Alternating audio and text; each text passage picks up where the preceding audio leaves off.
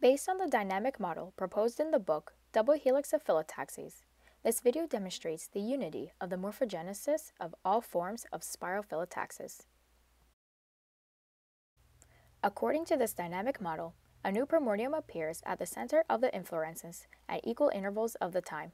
Moreover, each primordium increases evenly in its size. As new primordia appear and grow, each primordium puts pressure onto others. As a result of this pressure, each primordium moves in a straight line from the center of the inflorescence.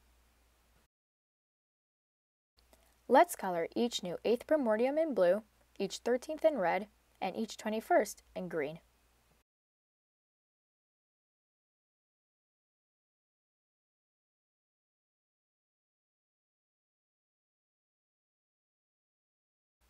Notice how the computer simulation of the dynamic model matches the real phyllotaxis pattern of a sunflower inflorescence.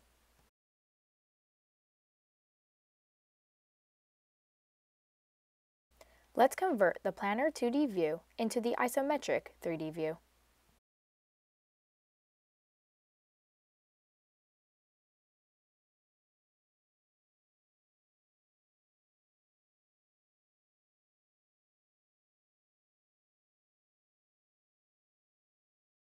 The transformation of a flat phyllotaxis pattern into a cylindrical one occurs as a result of the rapid growth of the central part of the receptacle along the axis perpendicular to the plane of the flat pattern.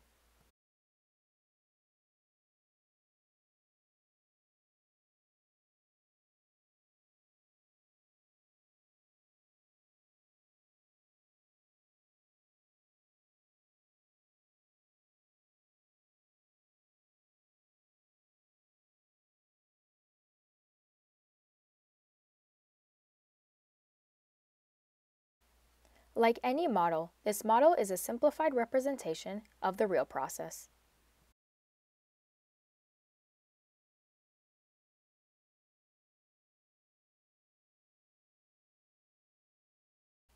Notice how the computer simulation of the dynamic model matches the real phyllotaxis pattern on a pineapple.